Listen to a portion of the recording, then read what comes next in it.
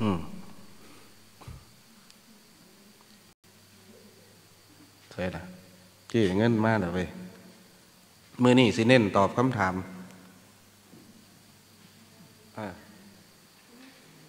ซี่จันก็จังสิได้ยินเสียงซี่จันผู้ลังคนมันก็อยากได้ยินเสียงซี่จันเดียวให้เราอ่านคำถามส่งคำถามมาเด้อจักสิว่าอีหยังไหม แต่ละมือแต่ละเว้นก็ได้ นั่งอยู่นี่ละถ้าตอบคำถามไม่ซี่ผู้ใดสงสัยก็ให้ถามมันสิได้เกิดประโยชน์ธรรมะกับการใช้ชีวิตประจำวันของเขาเนี่ยคือธรรมะท่านศีลภาวนาเนี่ยเฮ็ดเอาโลดไล่ละเอียดที่ยังถ้าติดถ้าของกับถามซี่เจนก็ได้ ฟังไม่ซี่นะ แต่ว่าก็จะไปถามดูหลายให้เพิ่นพักน้ำแน่วันเถอะเมื่อมันสงสัยเล็กๆหน่อยๆเขาไปถามเล่งปฏิบัติเอานี่นี่สิ่งสำคัญที่สุดนี่ให้ลงมือปฏิบัติเอาเบิ้งล้มแบบโอ้นี่บ่ต้องไปหูยังหูแต่ล้มเข่าล้มออกนี่หูซึกโตหูเมื่อคิงอยู่ของนี่ปัจจุบันเราเห็นยังอยู่นี่มันไหลไปอดีตกับหูเท่านั้น ไปอนาคตกับหูให้มันอยู่กับหมอง แต่ว่าบ่อยู่ซื่อนี่เรื่องสติปัญญามันจะเกิดขึ้นเอง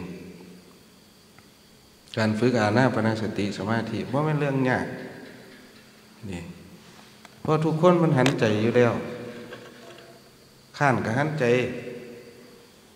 ขี่ข้านปันได้กับหันใจคือเก่าเพราะอย่างเพราะย่านจะของตายเห็นบ่ ขยันกับหันใจหนาวกับหันใจห้อนกับหันใจนี่มันยากบางใดไม่ใหญ่มันยากบางเขาสิฝืนอยู่กับล่มให้มันได้เพราะเขาเคยคิดมาหลายภพหลายศาสตร์มันมวนมันเพลินเสด็จแท้เด้ความขืดนี่มันลากเข้าไป ทั้งทั้งที่กระหูอยู่ในทางด่านความจำพ่อแม่ครูบาอาจารย์เพิ่งก็บอกว่ามารผู้มีฤทธิ์คือความคิดของเราเองนั่งกายก็เห็นอยู่ได้ป่ายเนาะแม่นบอก นี่ก็อ่านอยู่ได้หรอสู้มือก็ได้ แต่ว่าเป็นแค่สัญญาความจำไปสิมันว่าท่านเห็นโทษเห็นไพ่อีดีบันเถาสภาพว่าทุกข์ที่มันเกิดขึ้นทั้งในมันยังเข่าพอถึง มันเห็นแค่ทุกข์ไพ่หนอกที่ซื้อกินแล้วก็ขี้กินแล้วก็เงี้ยวอย่างนี้หมุนเวียนเปลี่ยนถาดที่นี่ มันก็เห็นแค่ความลำบากภายนอก แต่ว่ามันบ่เห็นภายในที่ใจไปยึดมันถือมัน อารมณ์เวทนาสามเลยสุขก็เป็นอารมณ์ตัวหนึ่งบันเห็นว่าเขาจะไม้เอาแต่สุขพากันรังเกียจทุกข์เสียบันเกิดสภาพว่าขึ้นแน่เล็กๆน้อยๆกับพากันย่านบัน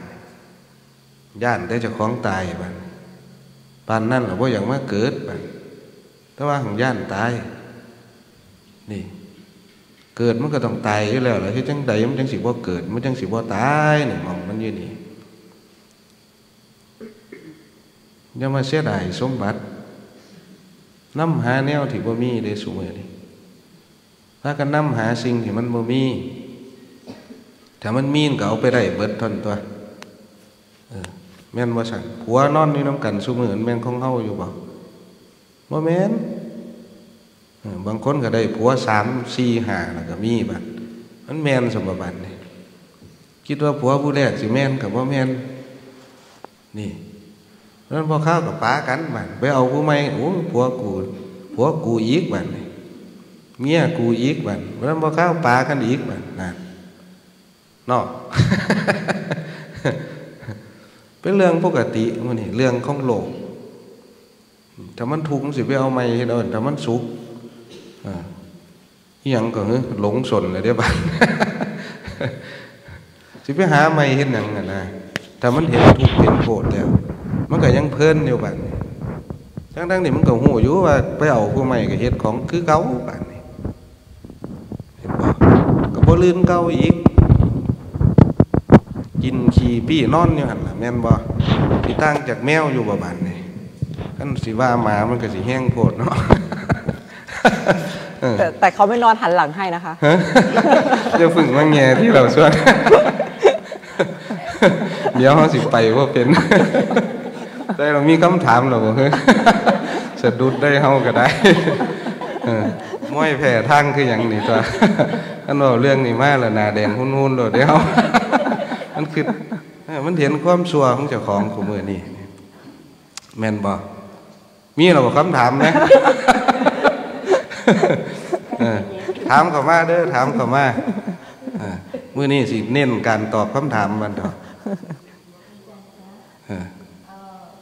อะให้ให้แม่ชีหน่อย เว ค่ะ ลานอนเนี่ยจะจะใช้บ้านอย่างดีนะ ห้อยสิใส่ท่าใดเอ่ยติใช้ท่าไหนเวลานอนแล้วถ้าเฮามักไม่ใหญ่เออเจ้าสิใส่ใส่ท่าเมียบเออท่าแข้งได้ได้นึกว่าเออนึกว่าต้องตะแคงท่าค่ะไหนก็ได้วันเถอะเลือกเอาโลดได้ทุกท่าใช่ไหมอ่าคะได้สู้ท่าวันเถอะอ๋อเพราะว่านอนท่าได้เฮาก็หันใจคือเก่าเออพอเฮามีสติอยู่ก็ล้มมาล่ะไม่ใหญ่ค่ะอืม นอนหงายมันสิเป็นอีกจังหนึ่งนี่เฮาสังเกตเบิ่งว่าเวลาเฮานอนหงายนี่ผ่านขึ้นเลิกเลยเด้บัดกันว่าท่าเมียดเป็นท่าพื้นฐานเห็นว่าเวลาเรานอนหงายนี่ลมมันจะเป็นยังไง เราสังเกตดูเวลาตะแคงขวานี่ลมเป็นยังไง นี่ นอนหงายบางทีมันจะแน่นหน้าอก ตะแคงข้างขวามันจะลมมันจะโล่งหรือเปล่า นี่สังเกตดูตะแคงข้างซ้าย มันบีบมันกดทับหัวใจ มันจะแน่นหรือเปล่า เราสังเกตดูนี่แหละคำว่าการฝืนการทวนในลม ไม่ใช่ว่าเราจะไปดูแต่ลมอย่างเดียวในคือเราจะปล่อยตามสบายเลยไม่ได้ ต้องฝืนต้องทวนมันก่อนถ้างั้นจะมีอาณาปณสติสิบหกบอก นี่มันก็อยู่ในใช้ลมสั้น ลมยาว ลมหยาบ ลมละเอียดลมอย่างอีกแน่ละบันบังคับลมฝืนลมนี่เขาสิเห็นเวทนา เห็นการพ่อใจในลมยาวบอนี่พ่อใจในลมธรรมดาบอเวลากำหนดลมสั่นแล้วเขาสิเห็นความบ่พ่อใจในลมนี่บอเวลากั้นลมพร้อมบัดนี่ ถ้ามันขึ้นได้หลายให้พากันกันล้มลองเบิงสลับกันนี่ใส่ทุกวิธีที่เขาสามารถใส่เทคนิคใส่สติปัญญาของเจ้าของเราเอง แต่คู่บ่าก็มักนอนเบิงล้มได้หรอบ้านนี่ส่วนมากคู่บ่าสินอนเรานอนเบิงล้มมันหลับกับปล่อยมันหลับไปตัวแม่นบ่เวลาสติมีกำลังแล้วเนี่ยมันบ่ได้นอนหรอกบ้านนี่ อย่าไปเฮ็ดเนี่ยมันทรมานกายจ้าของจนเกินไป แต่เขาบีบขั้นจนเกินไปแล้วมันสิฟุ้งซ่านบ้างมันสิเอามันบ่อยู่นี่ไม่ไม่ต้องอาศัยอ่าคอยเฮ็ดไปเรื่อยๆซะก่อนนี่อย่าเฮ็ดเพื่อเอาจนเกินไป มันสิกดดันเจ้าของ เวลาสติมีกำลังมาแล้วนี่หมดทุกอิริยาบถนี่นอนอไปสัก หนึ่งชั่วโมงหรือสองชั่วโมง มันจะรู้สึกตัวขึ้นมา รู้สึกตัวแล้วมันบังคับให้เราทำความเพียรพอนอนหงายปุ๊บมันจะบังคับให้เราตะแคงขวา ตะแคงขวาได้สักพักหนึ่งจะบังคับให้เราตะแคงซ้ายอย่างเงี้ยอ่าพอนอนไปนอนมาเนี่ทุกในการนอนมันก็จะเกิดขึ้น มันจะบังคับให้เราลุกขึ้นนั่งอีกบ้างนี่พอนั่งไปสักพักหนึ่งอ้าวเอ็นหลังลงนอนอีกนี่มัน นอนเบื่อแล้วก็จะลุกขึ้นไปเดินอย่างเงี้ยนี่คำว่าความเพียรเริ่มเป็นเองเนี่ยบ่มีผู้ใดหลังนอนได้เบิดมือแม่นบ่ไม่ไงเออบ่มีผู้ใดย่างได้เบิดมือเพราะเรามีผู้ใดยืนได้เบิดมือนี่ยืนเดินนั่งนอน เราจะเห็นทุกเลยว่าเออถ้าเกิดเรานอนสักสามวันอย่างนี้มันจะเป็นยังไง ลองนอนดูสักสามวันเนี่ย มันจะนอนได้ไหม โดยที่ไม่ต้องลุกมากินข้าวนี่นี่แล้วลองยืนทั้งวันดู มันจะได้เห็นทุกข์ยืนว่าได้ดอกวัดมือนี่จังได้เจ้าก็ต้องขยับอยู่แล้ว เจ้าต้องลงมานั่งอยู่แล้วนี่ เห็นบ่ยืนเดินนั่งนอนมีแต่ทุกข์ทั้งนั้นบาดนี่เฮ็ดจังใดยังสิบ่ได้ยืนได้เดินได้นั่งได้นอนนี่จังสิบ่ได้กลับมาอ่าเฮ็ดของพวกนี้อีกนี่บาด พุทธองค์เพิ่นก็สอนอยู่บัดนี้นี่ท่านเป็นบาทฐานไว้ยกพุ่มจิตเจ้าของนี่สลัดพุ่มของเปรตออก เปรตที่มันอยู่ในใจ เปรตภายนอก ส่วนของเขาเป็นเปรตภายนอก อุทิศให้เจ้าของซะก่อนเฮ็ดบุญนี่อุทิศให้เปรตที่อยู่ในใจเฮานี่ นี่แหละสิ่งที่คนมองบ่บ่เห็นเลยว่า ภพภูมิที่แท้จริงมันอยู่ไสนี่เทวดาก็ไปจากมนุษย์เด้บัดนี่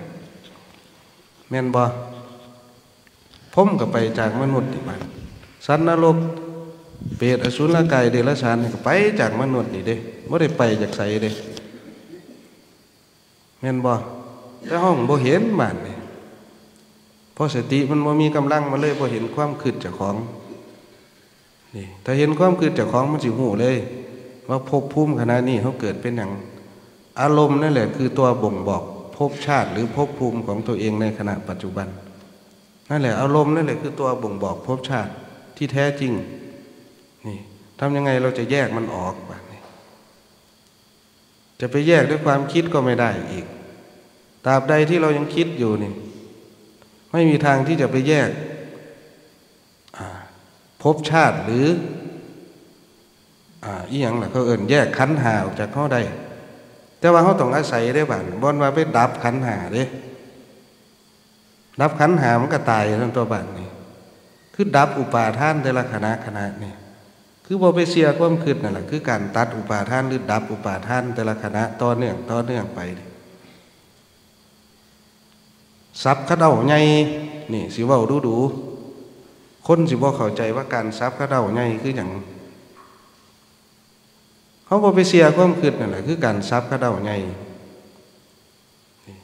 ความคิดมันเป็นโตได้ผู้เด้ไม่ใหญ่เอ้ยแม่นบ่นี่เป็นโตได้ได้ความคิดนี่ก็ความคิดตัวพาเขาไปผูกข้อตายก็ได้แม่นแม่นบ่นี่ มันสั่งให้เขาไปผูกข้อตายก็ได้ตัวสั่งให้เขาไปโดดตึกก็ได้นี่สั่งให้เขาไปฆ่าคนก็ได้นี่ เป็นกินเป็นเสียงได้พร้อมความคิดเขาไปปรุงกับมันดูๆนี่นี่ทั้งเดียวก็สิมีเสียงมาซ้ำอยู่ในหูเขานี่ให้แก้พาก็ได้ตลอดความคิดแม่นอยู่บ่นี่ โทษไพ่แห่งความคิดบนธรรมดาเขาไปเสือมันแค่นิดเดียวเท่านั้นมันลากเขาไปหอดไซแน่บัดนี้นี่ตอนมีกายกายหยาบนี่หนิงสามารถพัฒนากรรมได้ แต่ถ้าหากเขาตายจากการเป็นมนุษย์ไปแล้วเนี่ยบัดแค่ความคิดแค่ชั่วขนาดนี้ไปลงสู่อบายภูมิทั้งสี่เนี่ยมูเจ้ารับผลแห่งที่เกิดจากเขาไปเชื่อความคิดปรุงแต่งเอาลงนรกไปเกิดเป็นเปรตไปเกิดเป็นอสุรกายสัตว์เดรัจฉานเนี่ยยังไข่ได้สัตว์เดรัจฉานมันยังอยู่ใกล้มนุษย์อยู่ถ้าเกิดถือเจ้าหน้าดีมันกับไข่ได้แต่ว่าพวก กายทิพย์กายละเอียดในบ้านเมื่อหนึ่งเขาซ้ำจักปีเมืองมนุษย์บ้านนี่แหละมองมันสิบ่มีสิทธิ์ไปต่อต้านเขาได้เลย ต่อต้านเรื่องวิบากที่จะคล้องเหตุขึ้นนี่มาแมวนี่ถือเจ้านายดีก็ดีอย่างหนึ่งแต่ว่ากับบ่ดีอย่างหนึ่งอีกได้บ้านมันก็สิติดรสชาติในความสบายอีกได้บ้านนี่เลี้ยงมันดีร้ายมันก็สิยามสตอบ้าน มาแมวมันก็มีธาตุสี่ขันหาคือเฮาได้บ้านมีโตชั้นยาคือกัน นี่ว่ามันของดีบันไดได้ทั้งที่เขาคือว่าเขาสงเคราะห์เขาอาจจะไปซ้ำเติมก็ได้เด้ บางตัวนั้นมันติด ความสบายแล้วตายแล้วมันก็จะกลับมาเกิดเป็นหมาอีก คือจังมนุษย์นี่แหละของในอารมณ์กามคือกัน มนุษย์ก็ได้หมากับของในอารมณ์กามคือกัน นี่ เห็นบ่บานนี่คำว่าสัตว์แต่ว่า แปลว่าผู้ของ สัตว์โลก โลกก็คืออารมณ์มันคล้องอยู่ในอารมณ์นี่เที่ยวมาเกิดถึงตัวบานนี่เกิดตายเกิดตายเรียนยี่นี่บ่เบื่อบ่นายจักเถื่อสมบัติ คิดว่ามันคงจะของบ้านพากันนำหาพากันแสวงหากระดอกกระเดียสุดท้ายแล้วก็ยังไปนำบ่ได้นี่ ของเรียนเป็นเฮ็ดอีหลีบ้านหมู่เฮา ของอีหลีมันพากันเฮ็ดเหรียญคือคำสอนพระพุทธเจ้านี่คือของจริงบัดนี่ของเรียนเรียนมันพากันเฮ็ดเอาบักแก้งแก่เมื่อยปานใดก็บ่เศร้าของเรียนเรียนย่านตะบ่ห่างบ่มีย่านตะบ่ได้แต่ว่าอริยทรัพย์คือคำสอนพระพุทธเจ้านี่เพิ่นพากันประมาณบาปบุญคุณโทษบ่มีจริงดอกเพิ่นว่า นี่ ทำดีได้ดีมีที่ไหนทำชั่วได้ดีมีถมไฟสันโลกก็สิมองสันบ่เข้าใจเรื่องกรรมนี่ศาสนาพุทธเขาสอนเรื่องกรรมกรรมคือการกระทำผู้ใดกระทำผู้นั้นก็ได้รับผลของกรรมนี่แค่เรื่องง่ายๆแค่เขากินเขาเนี่ยเอาเห็นจ่อๆโลดเรื่องของกรรมแม่นบ่กินแล้วเขาก็ยิ้มหวานบ่ไปยิ้มท้องผู้อื่นเด้ นี่ เอาแบบใกล้ๆโตวเฮานี่ล่ะนี่บ่ต้องไปมองดอกภายนอกนั่นมองในใจเจ้าของนี่มองกายกับใจแค่นี้แล้วมันสิเห็นเออสติปัญญามันสิเกิดขึ้นเออมีคำถามอยู่ว่าจันนี่ค่ะคำถามจากคุณป๊อปนะคะ บุคคลที่ต้องสังฆาทิเศษเมื่อศึกออกมาแล้วกลับไปบวชใหม่ได้อีกไหมครับ ได้จะเป็นอะไร แต่กรรมตัวนี้มันแก้ยากเออ มันต้องอาศัยเหตุดีหนุนนี่อย่างกลับมาบวชใหม่ปุ๊บนี่สมมุติว่าเราต้องสังฆาทิเศษมาเนี่ยจะพูดเรื่องของอสมมติสงฆ์นี่กรรมตัวนี้คนจะต้องเยอะ แก้พิธีกรรมทางสงฆ์คือการไปเข้าปริวาสกรรมสมมติว่าเราปกปิดอาบัติไว้หนึ่งเดือน ก็ต้องบวกเข้าไปอีกสองคือต้องไปเข้าปริวาสสามเดือน แต่การเข้าปริวาสเป็นแค่พิธีกรรมภายนอกอเพื่อให้สงรับเข้าหมู่ ขอปริวาสแล้วก็ต้องขอมานัดอีก ขอมานัดแล้วออกอับพาน ออกอับพานแล้วแค่ภายนอกเฉยๆนะพิธีกรรมตัวนี้ แต่เรื่องของใจนี่ค่อนข้างจะยากอยู่เหมือนกัน เพราะไม่สามารถเอาความคิดไปชำระสาสางเรื่องของมโนกรรมพวกนี้ออกได้ จะไปนั่งคิดละกรรมที่ตัวเองทำขึ้นมา ไม่มีทาง เพราะยังเป็นคิดสอนคิดคิดเพื่อเปลี่ยนอารมณ์เปลี่ยนความคิดออกนี่ถามว่าบวชได้ไหมก็บวชได้อยู่ แต่ต้องมาชำระสาสางมันด้วย ศีลสมาธิปัญญาเออเพราะมันผุดขึ้นมาเรื่องมโนกรรมพวกนี้เราก็เป็นฝ่ายดูฝ่ายรู้มันรู้อยู่กับลมหายใจเข้าหายใจออกไงเดี๋ยวอีกหน่อยมโนกรรมพวกนี้จะค่อย ๆ บางออก มันต้องอาศัยพ่อแม่ครูบาอาจารย์ด้วยนะมีครูบาองค์หนึ่งเนี่ย ต้องสังฆาทิเศษต้องกรรมตัวนี้แหละ เดินทุดงอยู่สองปี เพื่อที่เพื่อที่จะชำระกรรมตัวนี้ เดินยังไงก็แก้ไม่ตกนี่เพราะอะไรล่ะ เดินเดินยังไงก็แก้ไม่ตก เพราะพยายามหนีกรรมตัวนี้หนีจากสถานที่เอา ในเมื่อนี้จากสถานที่ใจเรามันยังบันทึกเอาข้อมูลพวกนี้อยู่นี่ มันถึงอาศัยพ่อแม่ครูบาอาจารย์เพื่อที่จะรับรู้เกี่ยวกับมโนกรรมพวกนี้ เกี่ยวกับกรรมที่เราสร้างขึ้นมาเนี่ยยกตัวอย่างเลยคือครูบาเนี่ยไม่ได้ต้องสังฆาทิเศษนะ คือกรรมที่ที่เราเคยทำไม่ดีมาในอดีตเออคือยังเคยเบียร์หมาไว้อย่างสิ่ง ไปเบื่อหมาตายสี่ตัวเนี่ยไอ้กรรมตัวนี้ก็เผาลนหัวใจครูบานานเหมือนกันนะกรรมไปลักเงินข้อทานเนี่ยก็เผาลนหัวใจครูบานานเหมือนกัน กรรมไปเตะควายเนี่ยก็เผาลนหัวใจนานเหมือนกัน พยายามสู้กับมัน เมื่อก่อนครูบาก็จะแผ่เมตตาให้ตลอด เวลามโนกรรมพวกนี้ผุดขึ้นมาเนี่ยกรรมไปแกล้งหมาอีกแกล้งหมาน้อยอีกเอามันไปโยนลงน้ำ โยนลงน้ำแล้วใจมันสิขาดก็จับขึ้นมาจับขึ้นมาแล้วเอาไปโยนลงมาอีกเห็นบ่ใจมันสิขาดแล้วก็จับขึ้นมาบัดจับขึ้นมาแล้วเอาไปหอยไปกกไม้บัดนี่เอาไปเอาขานไปก่องามไม้ไว้ผู้บาในเฮ็ดไปทั่วขนาดนี้มันถึงทุกข์ไง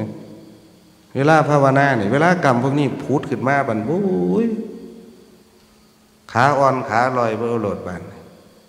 จักสีเฮ็ดแนวใหญ่บ่หูวิธีแก่ ก็ต้องอาศัยลงตาได้บัดนี้นี่เว้าให้เพิ่อนฟัง ว่ามันทุกข์แต่ว่าบ่ได้เว้าเรื่องกรรมพวกนี้เด้ บอกแต่ว่าผมเพิ่นเบิ่งสีหนาผู้บ่าเพิ่นก็ออกเบิ่งออกแล้วลงตาน่ะบ่ต้องไปอธิบายหยังกับเพิ่นเขาไปหาเพิ่นนี่เออถ้าแก้บ่ได้ เดี๋ยวสิรับไว้เอง นี่นักหนาสาหัสปานใดก็ตาม ตัวโยนไม่เฮาโหลดไว่าซั่นนี่ นี่ได้สิ่งที่มันเกิดประโยชน์ ในการมาอยู่น้ำพ่อแม่ครูบาอาจารย์ ใจเขาก็โล่งช่วงวะโหลดไปช่วงวะในขณะนั้น แต่ว่าเขาต้องไปแก้ไขอีกบ้านนี้นี่ยอมรับเข้าใจบ่ถึงมันสิพิษพลาดนักหนาสาหัสปานใดก็ตามสิ่งที่มันผ่านมานี่ ยอมรับเลยอ้าวถึงวิบากทางกายมันจะเกิดขึ้นยังไง ในเมื่อกูผิดพลาดไปแล้วเนี่ย นิมนต์มันมาเลยนี่เราอาจหารแล้วได้อบาทนี่กล้ารับในสิ่งที่ตัวเองทำขึ้นมาเนี่ยประจานตัวเองเนี่ยเห็นไหมอย่างที่ครูบาพูดเรื่องกรรมที่ตัวเองทำมา เพื่ออะไรเพื่อเป็นกำลังใจให้กับคนที่ไม่สามารถที่จะแก้ปัญหา สิ่งที่ตัวเองเข้าไปคล้องเนี่ยพอประจานแล้วมันจะโล่งนี่ถึงแม้ไม่ประจานกับหมู่คณะเยอะๆก็ไม่เป็นไร พูดให้พ่อแม่ครูบาอาจารย์ฟังเนี่ยท่านรับรู้แล้วเออท่านให้กำลังใจมันก็จะสามารถมีกำลังใจสู้กับอะเรื่องกรรมพวกนี้ได้ ไม่ใช่ตัวปิดกั้นมรรคผลนิพพานนี่ให้กำลังใจคนที่ถามคำถามนี้เข้ามาเออคำถามจากคุณนัทนะคะกราบขอโอกาสเจ้าค่ะ การออกบวชต้องทุกข์มาก หรือมีบุญมากเจ้าคะกราบขอบพระคุณเจ้าค่ะ ความเข้าใจผิด คือ บางคนบอกว่าเข้ามาบวชปุ๊บจะได้บุญเลยไม่ใช่นะ นี่ ถ้าได้บุญเพราะผ้าที่เรามาบวชแล้วโกนหัวถ้างั้นร้านขายผ้าขายไตจีวรมันก็ไม่ต้องมาอ่าทำบุญรักษาศีลภาวนาแล้วแม่นบ่นี่อยู่ร้านขายสังฆพันธ์มันแหงไหลตัวนี่บ่จักบาทบ่จักผ่าจีวรบ่จักกล่องบวชนี่ยัง นี่ มันบ่แม่นว่าบวชไมาแล้วมันสิได้บุญเลยเด้ แต่มันเคยมีนิสัยวาสนาเก่าที่เราเคยสะสมมา อีกอย่างก็ต้องอาศัยการฝืนการทวนออกมา ไม่ใช่ว่ารอพร้อมก่อนค่อยมาบวชนี่มันเป็นได้ทั้งสองอย่าง การมาบวชนี่ ถ้าเราประพฤติปฏิบัติ ในศีลสมาธิปัญญามันก็จะเกิดเป็นบุญเป็นกุศล แต่ถ้าบวชเข้ามาแล้วไม่ประพฤติปฏิบัติ มานอนวันสั้นขากินเข่าวที่บ้านไปเมื่อนี่นี่ก็จะกลายเป็นเปรตนั่นแล้วเราจะเลือกเอาทางไหนบ้างระหว่างบุญกับบาปนี่ขึ้นอยู่กับเราถ้างั้นคนมาบวชก็ไม่ต้องประพฤติปฏิบัติแล้ว บวชก็มาแล้วก็ห่มผ้าก็มาแล้วก็ได้บุญโลดเป็นไปว่าได้ นี่แค่เบื้องต้นซื่อๆ นี่แค่แต่ท่านเบื้องต้นซื่อๆแต่แต่การทานจริง ๆ คือการทานอารมณ์ออกบ้านนี้นี่บุญกุศลมันถึงจะเกิด เข้าใจอยู่บอกคำถามนะคะ บอกว่ากราบนมัสการถามครับกับผมตาเลนได้นั่งรถกอล์ฟกับหลวงตาได้กลิ่นหอมๆคืออะไรครับห่อยกินหนังเหรอเด้อบานนี่อืมครูบาก็ตอบบ่ได้ดอก จะกินนี่อย่างล่ะ พิจารณาเอาโหลดอย่าไปสงสัยมันหลายเออส่งมาหลาย ๆคำถามนี่สินั่งตอบคำถามมื่อนี่คุณชาชัยบอกว่า เว้าไทยได้โบอดสาฟังเอาอดสาฟังเอาเออผู้เว้าไทยก็หลายแล้วล่ะเออได้อยุตะวางบ่อยากเว้าเออ คำถามจากสะพานข้ามนรกนะคะ เรียนถามครูบาเจ้าค่ะ มีวันนั่ง มีวันนั่งดูลมแล้วมีลมพัดผ่านมาด้านซ้าย แล้วมีเสียงกระซิบข้างหูว่าอดทน อืมดีแล้วล่ะ อดทนอืมความเพียรคือเครื่องเผากิเลสนี่นั่นเบิดเวลาแต่ว่าข้านเว้าได้ซุมือแม่ใหญ่จักสิเว้าอีหยัง คำถามจากน้องปอนนะคะ เมทินีอ่าพันธ์พิบูลกับครูบาถ้าจิตมันร้องเพลงให้เปลี่ยนลมถูกไหมคะ ตอนนี้ใช้ลมสั้นค่ะเออตัดกระแสโหลดล่องกับยาหัวมันแล้วเฮาฟื้นเข่าล้มปั๊บเลยนี่ มันสิเป็นมันล่องว่ามันเฮาล่องบัดนี่ตัวสัญญามันเก็บเอาแต่ก่อนครูบากับภาวนาเข้าไปคือกันตัวเออขนาดอ่าเบิ่งลมอยู่มันยังมีเสียงเพลงแทรกเข้ามาคือจังเฮาห้ำเพลงอยู่ทางในนี่ เพลงใดที่เฮาร้องดูดูฟังดูดูๆล่ะตัวสัญญามันเก็บเอาย่าหัวมันแล้วแห้งดีต้องมีคนมาร้องเพลงให้ฟังเนาะแม่นบ่แห้งสำบายตัว เบิ่งมันซื่อๆอยู่กับลมหันใจเดี๋ยวมันก็ดับลงเอง เดี๋ยวย่างอื่นก็เกิดขึ้นอีกบ้านความคิดก็เข้ามาแทรกอีกนี่อยู่กับลมกับฐานไว้ให้มันได้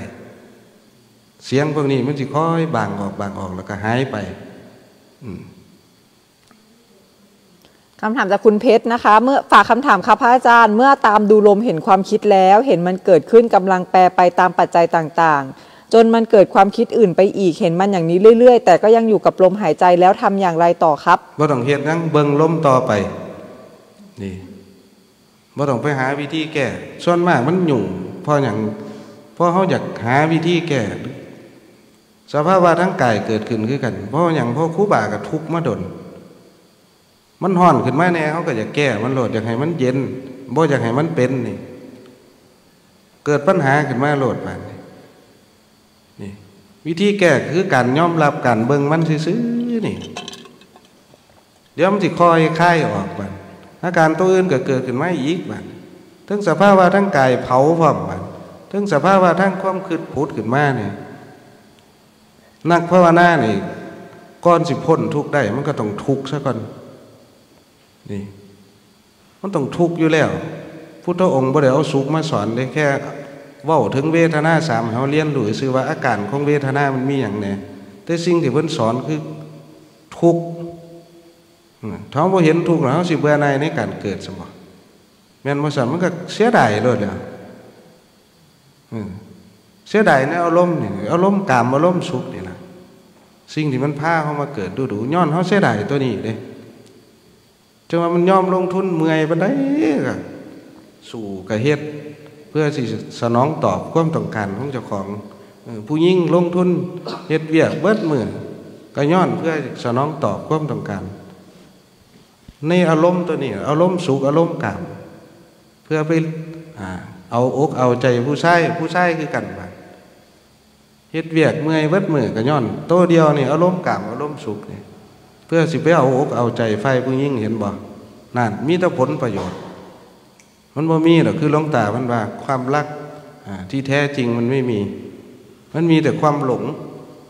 หลงในอารมณ์อืมมีอีกบ่คำถามมีค่ะก่อนที่ครูบาจะมาบวชเอ่อครูบาทุกข์เรื่องอะไรอะคะวนมาแต่เรื่องเก่าได้บ้านเออ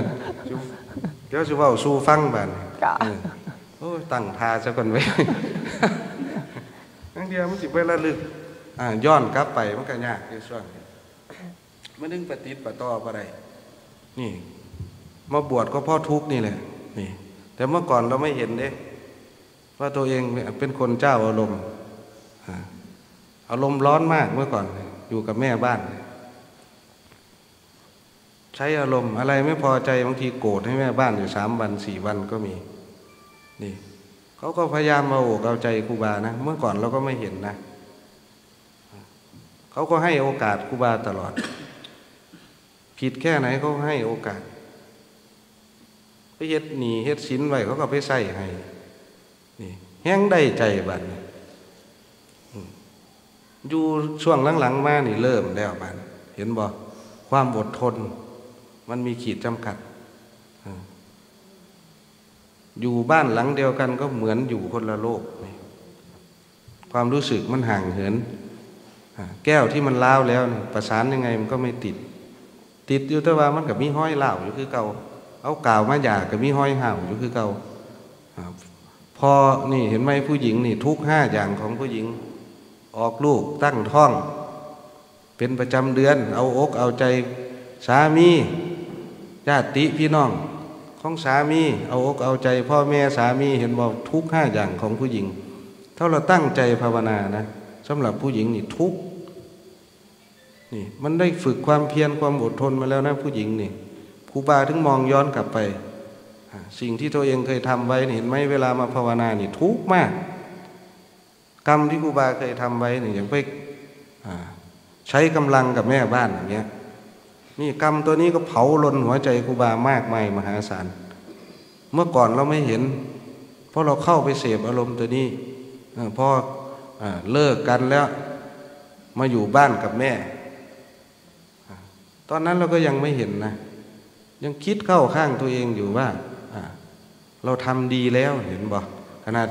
ตีเขาได้นี่ยังว่าจะของเฮ็ดดีนี่แม่นบ่มีคนชั่วป่านนั่นเด้ กล้าเว้าเลยแล้วว่าจะของชั่วนี่บันมาอยู่นะแม่ แม่เว้ายังก็บ่ได้บันนี่เราก็อาจสิฟังนี่ดอกไม่แดงขอโทษโยมแม่พันย้อนหลัง เนาะมีเงินออนั่นล่ะ เคยเฮ็ดบดีไว้ก็พอกับแม่กรรมตัวนี้ก็เพราะเผาล้นหัวใจของอยู่ด้เถียงเพิ่นน่ะนะบ่แม่นหยังดอกเพิ่นเว้าหยังก็บ่ฟังความเพิ่นบานพี่น้องมากอะ มาแต่กรุงเทพกรุงไทยคือจังเขาเจ้าเฮ็ดใส่เจ้าของเด้บัดกินข้าวลงไปสามคำแขนจะล้อโลดแน่นเมื่อก่อนครูบานี้น้ำน้ำหนักตัวประมาณ90กิโลนะ ไม่ใช่คนผอมๆนะ บอกไว้ก่อน แต่ครูบาไม่มีรูป โทรศัพท์เมื่อก่อนก็ใช้ปุ่มกดเนาะแต่รูปเก่ามันมีอยู่ เห็นไหมกินข้าวไม่ได้ทุก น้ำหนักลดลงลดลง กลางคืนมาก็นอนได้ชั่วโมงหนึ่งนี่เอาแล้วตื่นขึ้นมานอนไม่หลับแล้วนอนคิดวนไปวนมาทำไมมันถึงเป็นอย่างนี้ทำไมมันถึงเป็นอย่างนี้ มันรับสภาพตัวเองไม่ได้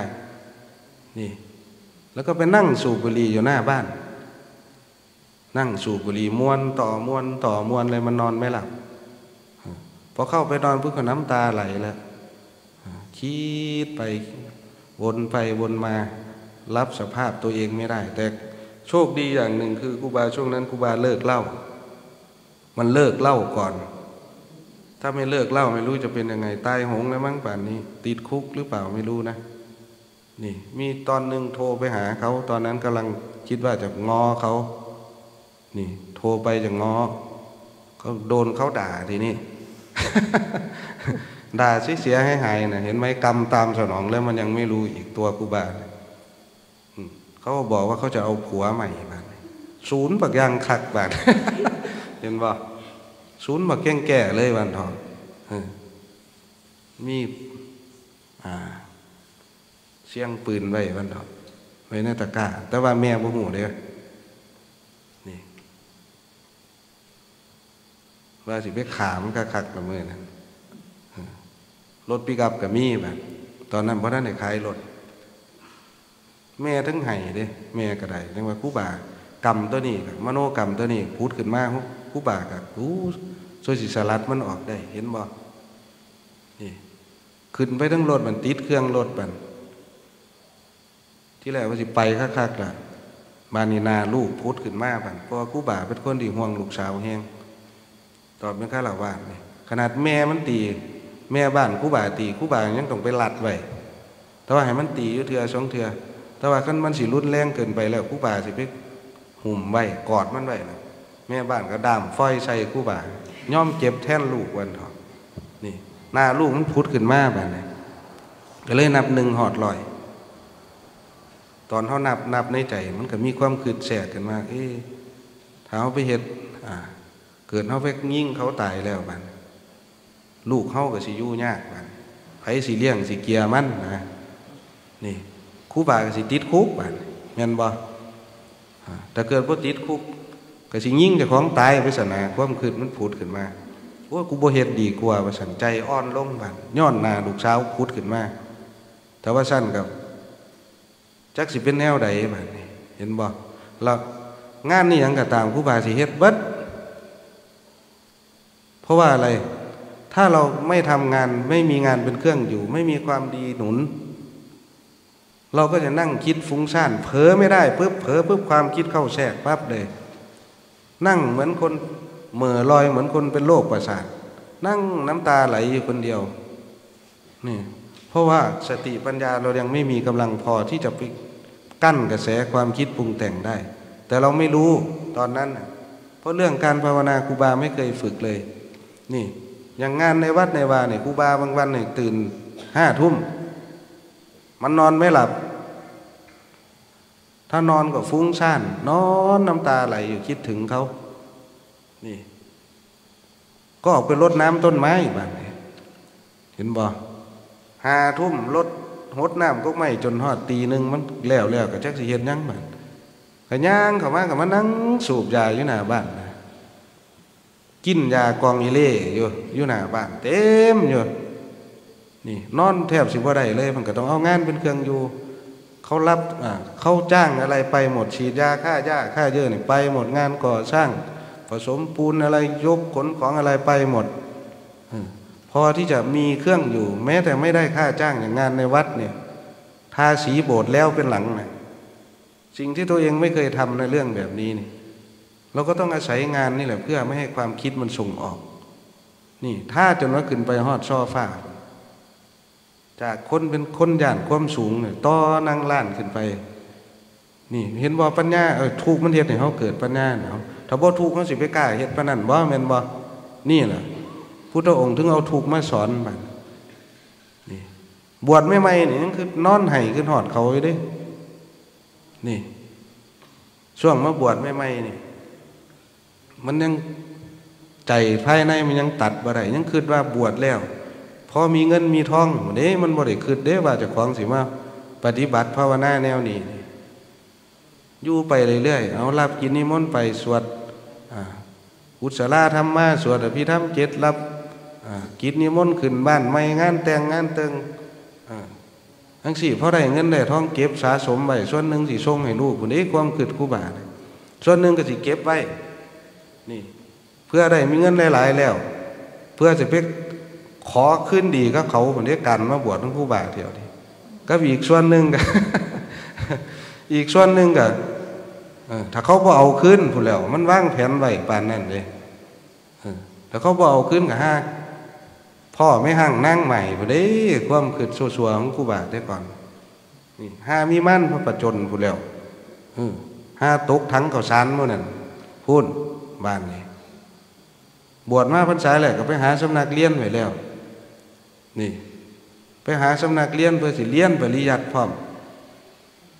หลายช่องทางนี่ได้ถือคู่บาอ่าว่างแผนแต่ของไว้กับสิไปเทศถามสามธรรมะเหมือนตัว อันนี้ก็ไปเบิ้งคือกัน ไปฮอดเมืองพ้นเหมือนตัวขอนแก่นผลไปติดต่อเขาเจ้าไว้แล้ว ว่าสิไปเรียนเทศสามธรรมะเพื่อสิมาหาเงิน นี่ เอาไปเอามาแล้วว่าได้จักอย่างบานนี่สิ่งที่เจ้าของตั้งความหวังไว้ เมื่อสิเขาไปเรียนปริยัติบานไปติดต่อโรงเรียนไว้แล้วไปติดต่อมองสีง่ายวัดไปอยู่แล้วนี่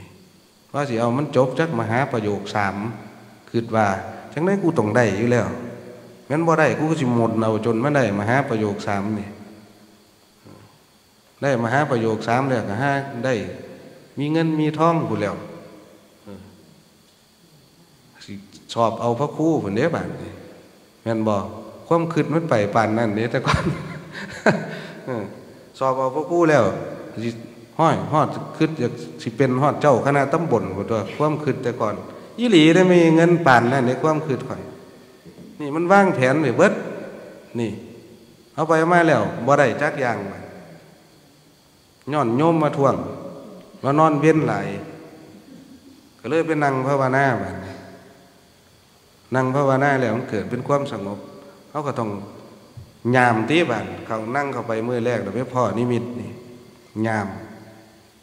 ก็เลยนั่งมาเรื่อยๆฝึกเจะของค่อยขยับขยายสถานที่ออกไป จากนั่งอยู่ในโบสถ์ก็ย้ายไปนั่งอยู่เมนจากนั่งอยู่เมนย้ายไปนั่งอยู่ป่าไปหานอนประสอบประสาขึ้นไปอยู่น้ำครูบาอาจารย์ อยู่ทั้งกาลยสินธุ์พุ่นไปได้ขอวัดปฏิบัติมากกับเขากลับมาแล้วก็มาอ่า เฮ็ดเป็นพระสายปลาสันเดียบันแนวคูบาบวชในสายมหานิกายสายบ้านเนาะไปได้ขอวัดมากกับมาใส่ขอวัดกับเขามูยากอีกบันก็อยู่น้ำมูยากก็ต้องหนีออกไปอยู่ป่าอีกบันเวลาสิจำพรรษากับแม่ก็ขอให้มาอยู่ในบ้านนี่โซใจมันสิลงได้ไม่ไงเอ้ยโซใจมันสิเห็นความบดีของเจ้าของกระถือกรรมพวกนี้แหละเผาล้นหัวใจอยู่ สามสี่ปีห้าปี สู่ก็มันอยู่นี่เวลามันถูกมันถูกคักอีหลีเลยหาเพิ่งไผบ่ได้ได้ไม่ใหญ่ก็สิบอกให้อาศัยพ่อแม่ครูบาอาจารย์เพื่อระลึกถึงเพิ่นเพื่อได้เห็นเพิ่นเพื่อได้เวลามันถูกมันคายออกบ่ได้ก็ได้เขาไปกราบตีนเพิ่นย่อตีนเพิ่นใส่หัวด้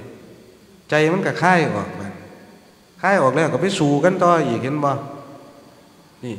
เพราะมันถูกมาอย่างเงี้ยกับเขาไปหาเพิ่นอีก เขาไปหาแล้วไปหมอบใส่ตีนเพิ่นเพิ่นเหยียบหัวให้กาบตีนดมฮอดตีนเพิ่น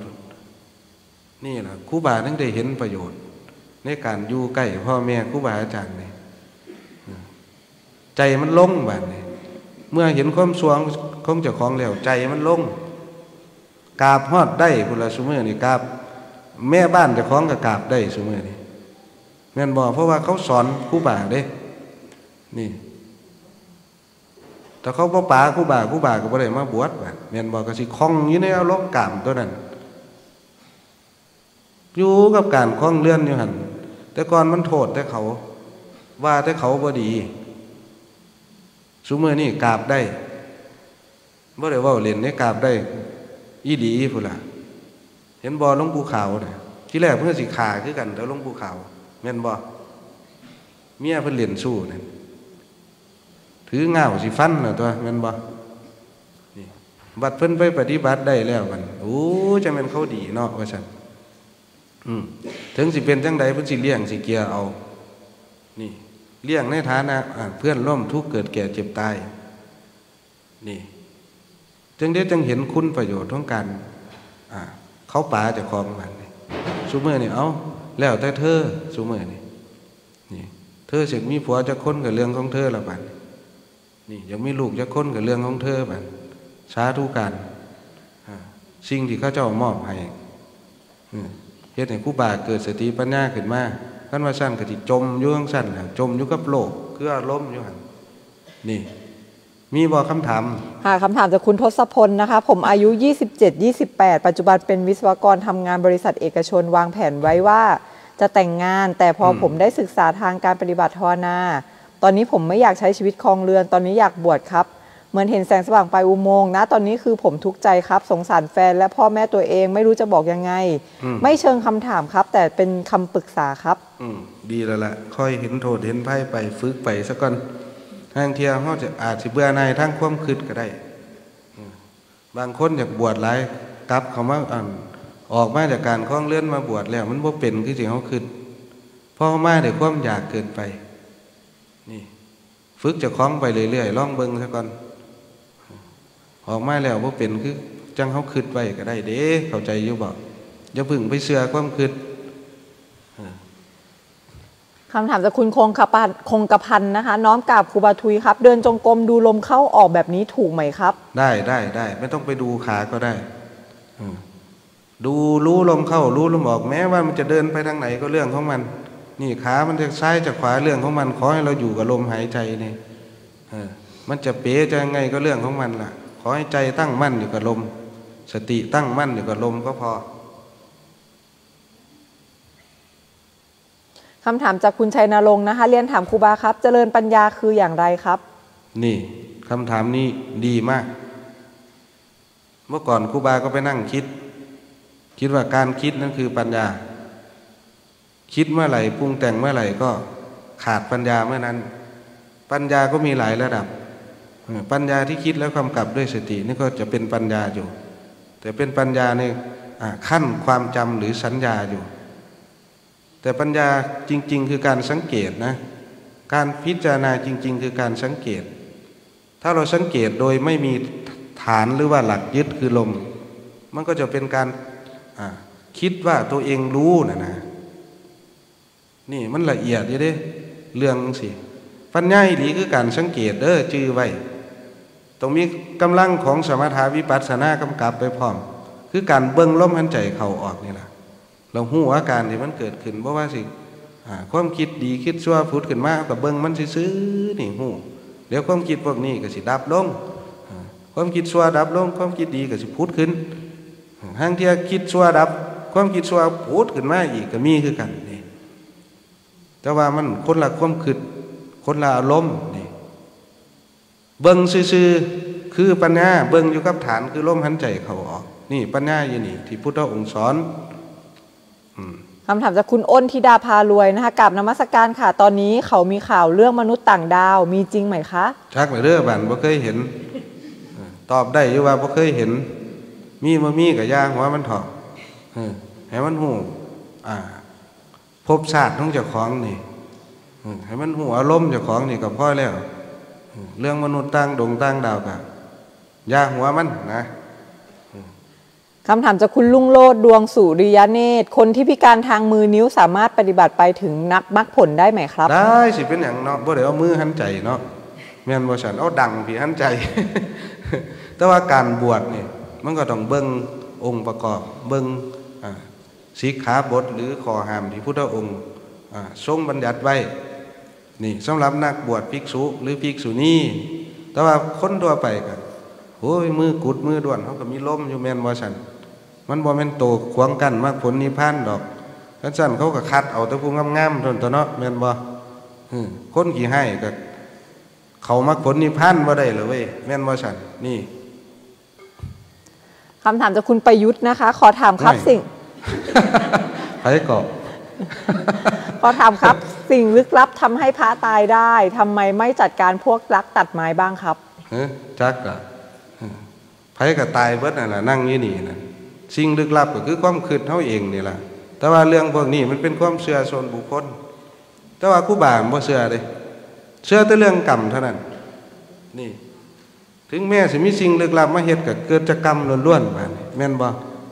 เฮาบ่เชื่อเรื่องพวกนี้พวกนี้แล้ว มันบ่มีอำนาจกับใจเฮาดอก นี่ ศาสนาพุทธบ่ได้สอนให้เชื่อเรื่องไสยศาสตร์บ่ได้สอนให้เชื่อเรื่องเทวานิยมบ่มียังศักดิ์สิทธิ์นี่บ่มียังเลยที่ศักดิ์สิทธิ์เอาเชื่อปุ๊บมันก็ทำลายมีสามารถมีอำนาจกดขี่ข่มเหงเอาได้ปั๊บโดด เห็นบ่นี่ ใจเท่านั้นเป็นไงอย่าไปเชื่อนี่ เชื่อพระพุทธเจ้าดีกว่าเชื่อเรื่องของกรรมดีที่สุดเขาบ่เคยเฮ็ดหยังเขาไว้เขาบ่มาเฮ็ดเฮาดอก สิไปนอนในป่าในดงในที่ยังก็ตาม แต่ว่าต้องอาศัยสติปัญญาพร้อมบ่นว่าสิฮู้ว่าเสือสิมาทางนี้สิไปกลางกดลัดมันก็บ่แม่นนี่วิธีป้องกันเอาตัวรอดก็ต้องมีไว้พริบคือกันนี่ คำถามจากคุณชัยนรงค์เขาถามต่อมาว่าจากอืมอ่าจากการที่บอกว่าถามว่าเจริญปัญญาคืออย่างไรนะ ถามต่อมาว่าผมทรงอุเบกขามานาน ไม่มีสภาวะธรรมใด ๆ เกิดขึ้นเลยครับ สภาวะธรรมคืออะไรล่ะบัดนี้นี่จะอธิบายได้ยากเหมือนกัน เราต้องใช้ประโยชน์จากอ่าเวทนาสามนี้ให้มันได้ หรืออาศัยอ่าอาศัยประโยชน์จากอ่าจริตสามราคะโทสะโมหะนี่เราอาศัยพวกนี้นะคำว่าทรงอุเบกขา คำว่าอุเบกขาเนี่ยเราไปหมายเอาความว่างหรือเปล่า หมายความซื่อๆเฉยๆคือเวทนาไม่ทุกข์ไม่สุขหรือเปล่านี่ บางทีมันจะอาจจะโดนกำลังชานกดข่มไว้ก็ได้นะ ไม่แน่ไม่นอน แม้แต่ความว่างยังหมายเอาไม่ได้นี่ตัวนี้นี่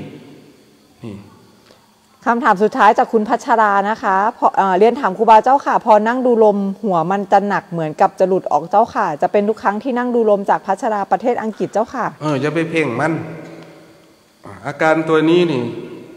เรารู้แค่อาการเฉยๆ ถ้าเราพยายามไปแก้ไขปัญหามันยิ่งอาการตัวนี้จะหนักขึ้น นี่อย่างมันแน่นเนี่ยถ้าเราไปเพ่งเพื่อมันจะขยายวงกว้างออกไป เอาความรู้สึกหรือตาในนี่ ไปเพ่งจุดใดจุดหนึ่งก่อน เพื่อถ่ายเทน้ำหนักให้มัน balance กันก่อน หรือศาสาดสายตาออกไปข้างนอกเนี่ยมองไปไกลๆก่อน มันหนักก็รู้ว่ามันหนัก อย่าพยายามไปแก้ไขมัน รู้อยู่กับลมส่วนหนึ่งก็เอาความรู้สึกเลื่อนลงมา อย่าไปเลื่อนอาการแน่นตรงหัวนะ หรือตรงที่มันตึงๆ เอาความรู้สึกมาจับที่อื่นหรือจับท้องพองยุบก็ได้พออาการพวกนี้มันคลายออก เราก็อยู่กับลมทีนี้ อย่ามาเพ่งตรงพองยุบนะ เดี๋ยวมันจะมาแน่นตรงนี้อีกนะ นี่มันจะเป็นเทคนิคในการวางลมอีกตัวหนึ่ง เรื่องพวกนี้มันละเอียด คนเนี่ยจิตที่ยังไม่ละเอียด ถ้าครูบาเอาเรื่องพวกนี้มาพูดบ่อยเดี๋ยวมันจะไปหมายเอา เดี๋ยวมันจะไปก่อน เดี๋ยวมันจะเป็นสัญญาไปขวางกั้นในการปฏิบัติ ส่วนมากก็จะมีแต่คนใหม่ ต้องดึงคนใหม่ก่อน เรื่องสภาวะธรรมที่มันละเอียดละเอียดครูบาอาจารย์ท่านจะไม่ค่อยพูดเท่าไหร่ นานๆจะพูดทีหนึ่งบางทีอยากดันเรื่องละเอียดมันก็ดันไปไม่ได้ เครื่องรับมันไม่มีมันก็ดันไปไม่ได้ นี่พ่อหรือมั้งเนาบานเนาะสาธุสาธุ